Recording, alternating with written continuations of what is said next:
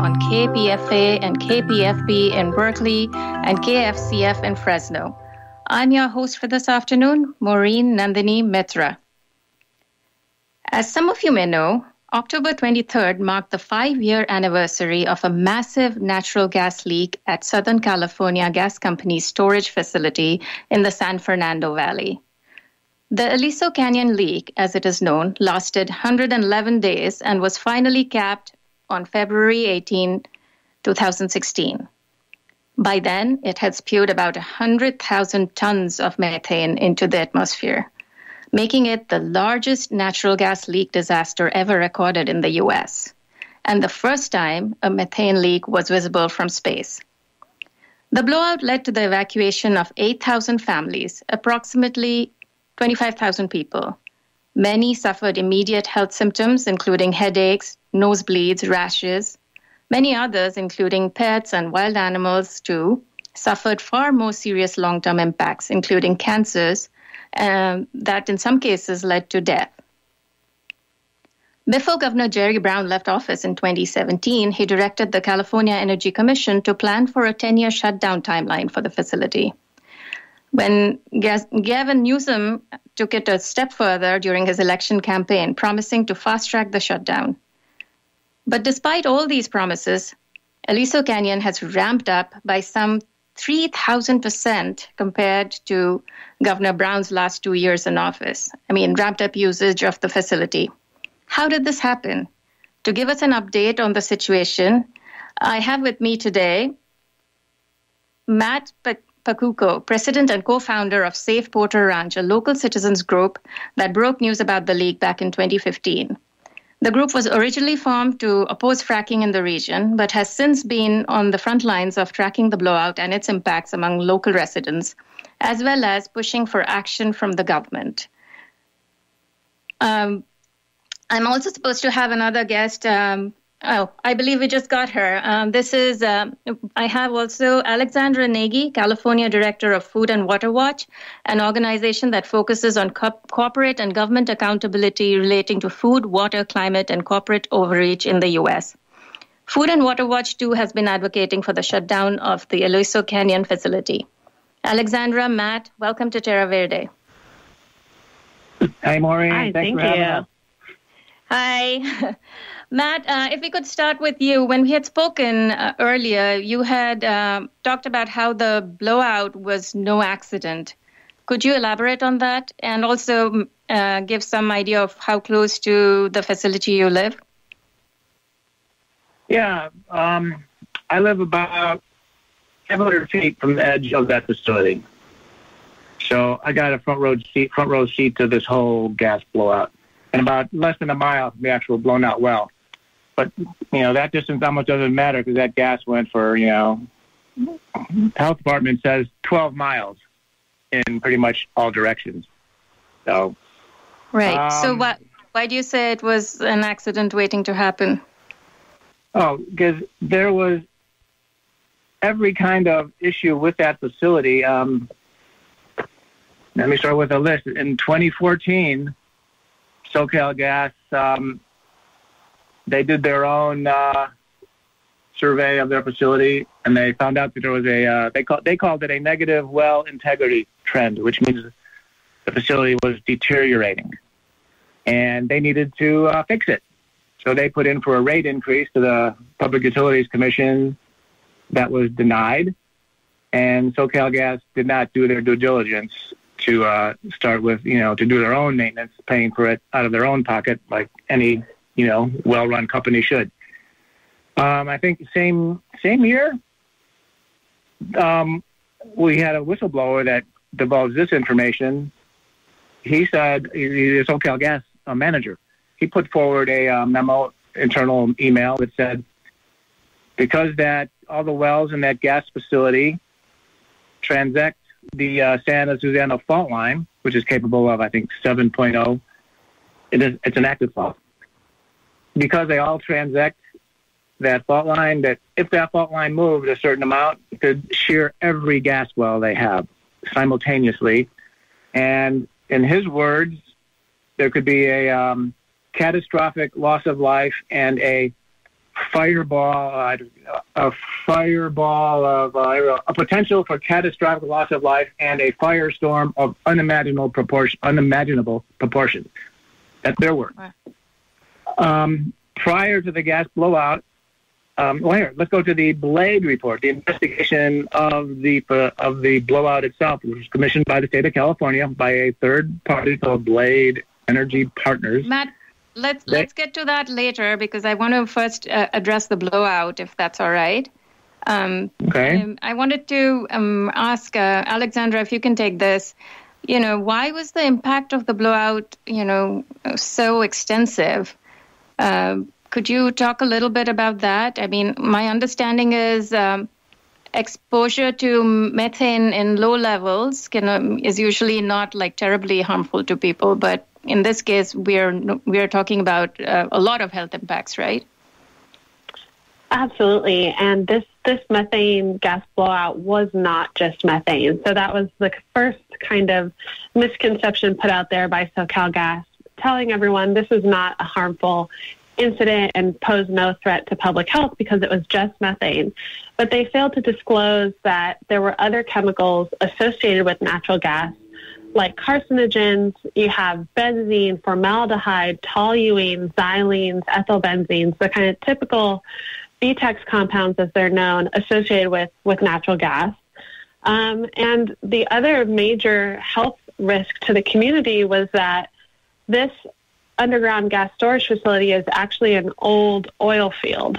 And so they store very, uh, a lot of gas under extremely high pressure in an abandoned oil field. And when the gas was pushed out from this blowout, along with it came unrefined crude oil. And that crude oil rained down on the community for four months. So you were uh, seeing small particulate drops of crude oil on playgrounds, cars, pools, pets, um, and people were breathing in this this fine particulate matter for a very long time. And so all of these issues together, um, and then a whole host uh, after the blowout, we found out that there were heavy, heavy metals associated, um, radioactive chemicals like uranium, um, heavy metals like nickel were associated with this gas blowout. And a lot of it SoCal Gas knew about, but they, they really worked to cover this up quickly and just dismissed all of the health concerns when in reality people were getting seriously ill and many people and pets in fact died during this disaster. And because it was such an unprecedented release that took place over 111 days, really the harm to the community still today is not quantifiable. Um, and that facility is still leaking every day and continues to release those dangerous chemicals in the nearby community. Right. Matt, uh, could you tell us a little bit about what kind of health impacts you and your partner have been suffering and what is it what's the most serious health impact you have heard of or seen in these five years? Well, the most serious one is rare cancers that have cropped up by the blowout and much more after the blowout. Cancers that are only, or they're pretty much um, associated with exposure to certain chemicals and toxins and carcinogens. And there's a, a cluster of them in this area which you know is is not is beyond the statistical norm. So, um, and, and myself and from so many people I've talked to, and so many people on our social media, the, eh, the some of the some of the more common health problems are are regular nosebleeds, heart palpitations, breathing issues, skin rashes, and these things will happen you know, people have left this area, moved out of this area because of health problems, and other people they'll leave the area for like vacation or a long length of time, and these symptoms will go away, and almost like clockwork, when they return to the area, these symptoms will return. And myself, I have heart palpitations frequently from this facility, and when they're really bad, I leave my house and, and drive two, three miles away, and guess what? They just magically disappear. Um, so I'll stay away for several hours before I come back because whatever is in the air, you know, eventually it blows into someone else's house in another direction. There's canyons up here, and the and the wind blows in you know different directions depending on where you live is how badly you'll be exposed. So yeah, that's just a, a small sampling of the regular ones that we hear about the most.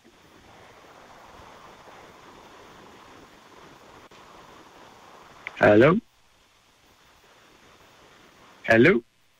I don't hear anybody. Where'd everybody go? I'm here.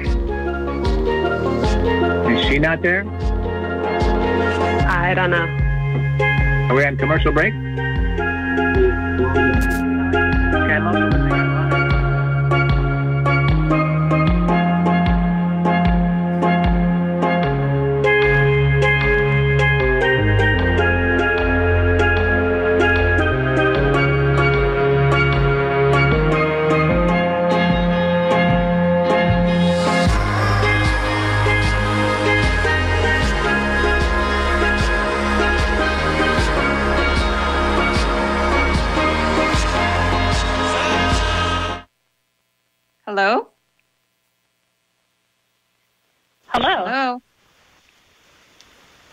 sorry, did we lose Hey. everyone?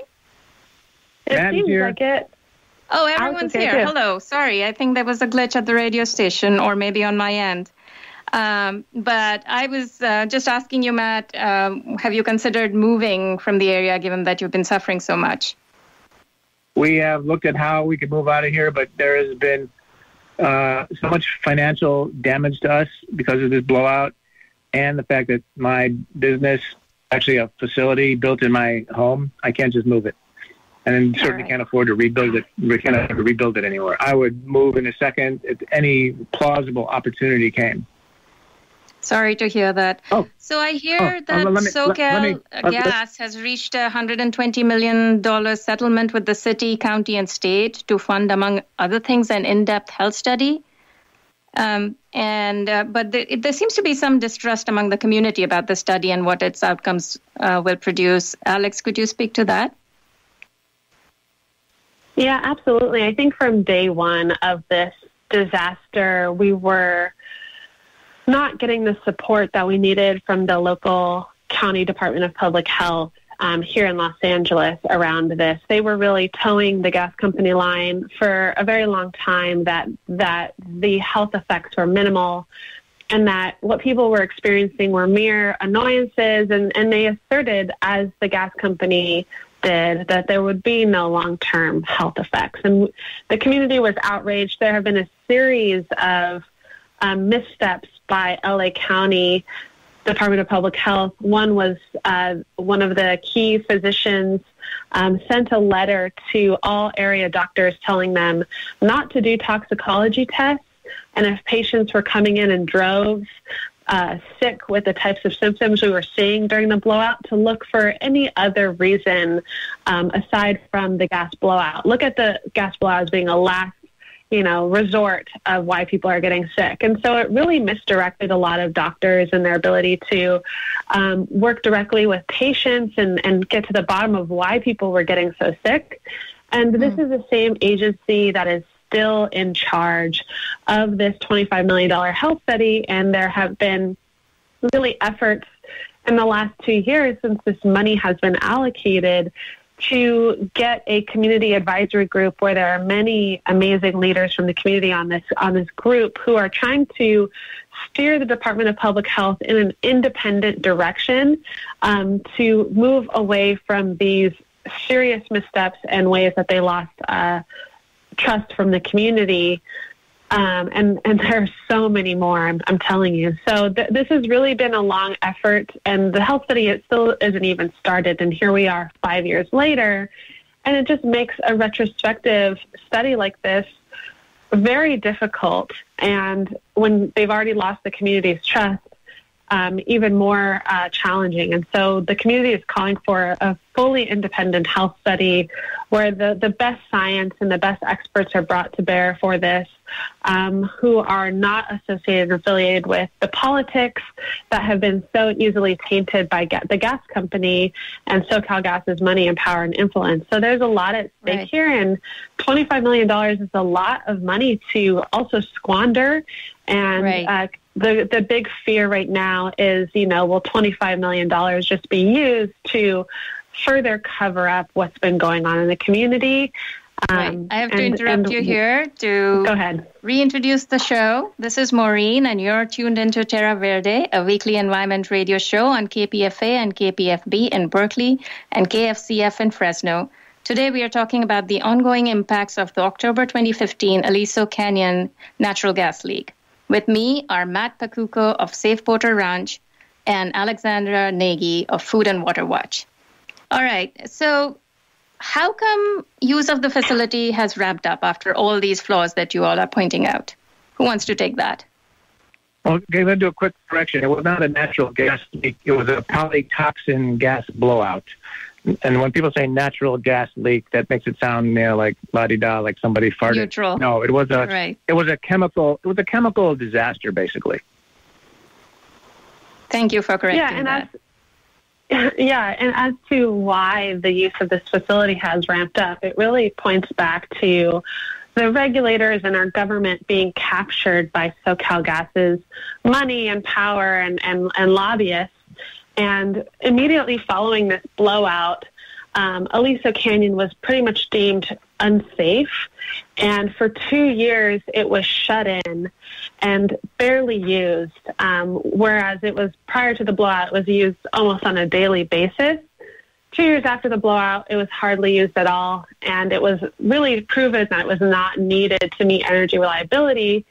And that made SoCalGas very unhappy because they make a lot of money out of storing gas in their fields for third party customers. They make money on the trading. And then the facility itself is worth hundreds of millions of dollars in terms of assets in their balance sheet and makes their shareholders a lot of money. So what they've been doing for the last two years since Governor Newsom was elected was they've been skirting the rules and going around certain regulations to move away from the rules that were put in place that helped us get off of Aliso Canyon to weakening those rules over time. And so we've seen a 3,000% increase in withdrawals from the facility, and, and SoCal Gas is trying to justify all this by saying, hey, look, see, we told you Aliso Canyon really is needed to meet demand. Uh, when we proved previously that wasn't true.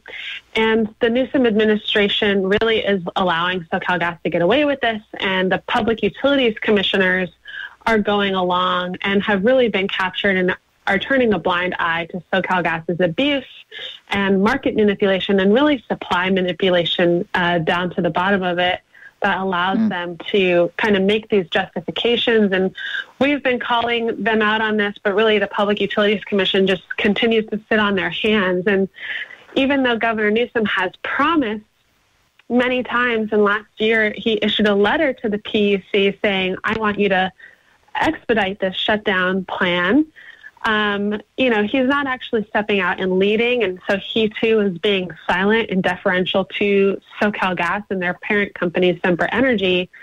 And when you look at the the records, you know, Governor Newsom, while campaigning for his office, took thirty two thousand dollars from Sempra Energy. Um, so we we really need Governor Newsom to step in here, um, to rein in the Public Utilities Commission, to stand up to SoCal Gas and, and he can do that by stopping these unnecessary withdrawals and unnecessary use and putting a plan in place, a, a full timeline to get this place shut down. Um, and, and he right. can do this with the stroke of his pen. Mm-hmm. Matt, when I'd spoken to you earlier, you'd also cited, along with earthquake risk, uh, fire risk as a looming threat to the facility. Could you explain that a little bit more, given the location of the facility and all that? It kind of goes without saying, uh, gas and oil and fire don't mix very well. Right. Um, so there's been uh, they started their own fire a couple of years ago with some accident they had. Then two brush fires in the last like two and a half years have gone through that facility. And what really disturbs us is the number of uh, fire department resources that go up to that facility to obviously protect the facility from blow into kingdom come. And while they're up there, they're not down in our, our neighborhood protecting houses. So we had one street which borders the canyon in a different direction. We lost a lot of houses were uh, burned. Uh, on that street, while there were, you know, I don't know, dozens, hundred fire trucks up protecting the SoCal gas facility from that, um, what they call the uh, fireball from hell, or whatever I said before. Um, so that kind of that's kind of a no-brainer. Fire, oil, and gas are a bad mixture, and that place is in what is called uh, in uh, L.A. in this area a um, high fire risk or a very high fire zone. risk zone. Yeah. Right. Right. Um, Alexandra, you have uh, mentioned before that Aliso Canyon isn't just a health crisis, but also a climate crisis, a catastrophe. Um, can you talk a little bit about that? Yeah, absolutely. Well, well, there are about you know 400 of these underground gas storage facilities across the United States, and Aliso Canyon is the fourth largest in the country and on its own is just a super polluter, according to the EPA, um, is the third largest uh, polluter of gas storage facilities in the U.S. And the amount of methane that comes out of that storage facility, just from normal operations, is a huge threat to our climate. Methane is 84 times more polluted, uh, potent than carbon dioxide at trapping uh, heat and warming the planet in a short time frame of 20 years. And then when it was, you know, the home, Aliso Canyon was the home of the largest methane disaster in U.S. history. You know, that one blowout leak alone accounted for roughly 20 to 25 percent of California's methane emissions for the year. And five years later, we're we're only um, a quarter of the way through that sort of supercharging, uh, climate accelerating time frame of 20 years. And so this is this is still going to have a tremendous impact. It, it leaked 100,000 uh, 100,000 metric tons of methane um, during the course of that blowout. Um, and it's just it's going to have horrible impacts on the wildfires that we're seeing in Northern California you know, this is all exacerbated by our addiction to fossil fuels and our refusal to quickly uh, shut down these types of very polluting, very dangerous uh, pieces of fossil fuel infrastructure and transition to clean energy. And so we have a, a major responsibility to do this not only at Aliso Canyon, but at the 13 other gas storage facilities in California and uh, you know, all the other fossil fuel infrastructure and the like. So we really see Aliso Canyon as being kind of the tip of the spear in terms of um, shutting down infrastructure that's really threatening Californians today and what we're seeing today with the climate apocalypse, um, it's only going to get worse if we don't act. And starting to, with shutting down Aliso Canyon is, is a clear first step, given how dangerous it is and its record in California so far. Right. And on the other hand, our governor has also just recently issued several new fracking permits, which would then produce gas that would then be stored in these facilities, right? Absolutely, yeah. This uh, Aliso Canyon storage facility and all the storage facilities in California are storing fracked gas. And so this is coming from across the western United States. And, you know, the gas we burn in our power plants or, or run through our pipelines is all coming from fracking. And so we have a really big responsibility to, you know, stop fracking, ban fracking, stop drilling for oil, especially in California. We say we're a green leader and that we're a climate leader, but Newsom has time and time again failed on this, especially where he's promised to do the right thing, like shut down Aliso Canyon or ban fracking. What that really means is the opposite. The, the use of these things ramp up according to his record. So it's a very frustrating position to be in where the marketing of California is so pervasive, but the reality is very dark and sinister. And that's what we're challenged with as well. How do we really educate people to how bad, you know, Newsom's own record on these issues are and work to hold him accountable on these massive statewide issues? Right. We have only a few minutes left, but I do want to quickly touch upon the uh, numerous lawsuits uh, against the company that have been filed on behalf of some 36,000 plaintiffs. Matt, are you one of those plaintiffs? Of course, and so is uh, Save Porter Ranch. Right. Um, can can one of you, maybe Matt, can you give uh, us an update about uh, what's happening with those lawsuits? Well, even without the COVID delay, SoCal Gas has pulled out every, you know, every possible delay they can attempt to pull out in this uh, whole court battle. And they've got like, you know, 30,000 people suing them. It's a mass tort um, type of case. They have blocked every kind of uh, deposition. They have blocked every kind of evidence. They have, and they have lost in many of these attempts, and the judge has seen through it all. Um, and they keep trying. They right now they're trying to keep their uh, Jerry Brown's sister, who uh, was on the board of Sempra during the blowout, in charge of uh, environment and uh, safety. By the way, trying to keep her from testifying. So that that's going to court. They're trying to keep uh, Sempra Energy from being at all liable for the blowout. Oh, saying, "Oh, we're not responsible for SoCal Gas's issues," which is they'll lose that one, but they have to try it and and every every kind of blockade they can try. Um, and it's funny that stuff hasn't even gone near a court, you know, court uh, near trial yet. But the city, the county, and the state, in all their lawsuits, they've already settled, um, and they've all moved on. They got their 119 million, and they've moved on. 119 million to Sempra Energy is if I contaminated the entire is San Fernando Valley and you know in proportion, I would. That's like me paying seven hundred and fifty dollars to settle the claim. So there's nothing for SoCal Gas. There's there's no um, there's no uh, right. nothing to keep them from doing this again. That's so minuscule. So basically, you all are waiting for a court date on at least one, some of the cases. Oh yeah, and it's great. The uh, Attorney General Becerra, and the announcement of that settlement, he said this does not affect um, anybody's personal injury lawsuits. So you guys should continue with that. Essentially, it's telling him, him telling us, he's our lawyer for the state. He's telling us, uh, go get a lawyer after he signs off on everything and walks away. Sorry to hear that. Well, um, I am assuming you you both will keep the pressure on to make the state government come through and set up a direct timeline to close down this uh, facility. Uh, but that's all we really have time for on today's show, and I apologize for the earlier interruption. Uh, to learn more about Save Porter Ranch, go to safeporterranch.com.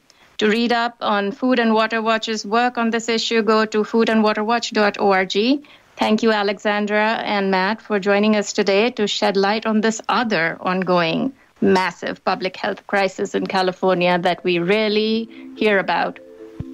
Uh, um, this Thank show so and others us. will be available to you on kpfa.org for your convenience. Alexandra, Matt, it was a pleasure having you. Uh, have a great weekend, everyone. Thanks to our engineer for helping host this show. And have Thank a good you. weekend. Bye. Bye-bye.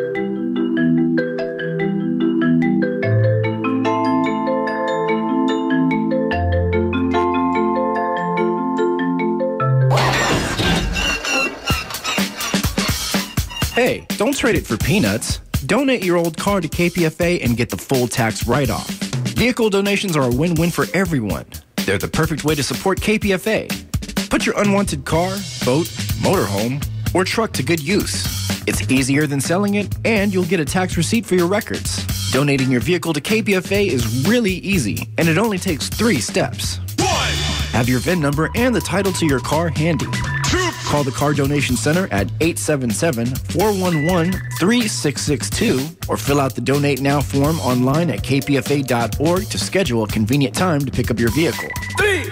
Give the tow truck driver your signed title and, of course, the keys. And that's it. When your vehicle sells, you'll receive a thank you letter and an IRS tax form 1098. Thank you for supporting community-powered KPFA.